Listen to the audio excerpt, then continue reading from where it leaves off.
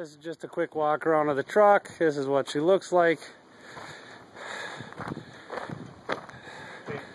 You just saw it. You just saw it running. All right. It's got good suction, good vac, uh, good pressure. All right. Me walk over here. I'll show you the inside the cab. It's pretty basic. There's your controls again. Getting up inside the cab. Basic is as basic does. Simple 10 speed. Power divider. No Jake. Standard 10 speed. Very basic Freightliner truck. Walking around, like I said, there's the controls. Full opening rear.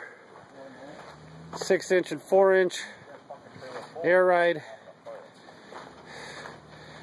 Here's the pump coming over here with a hydraulic cooler on it. There's room on that fifth wheel trailer for some. Uh, And that's it. Pretty much a basic vac tank.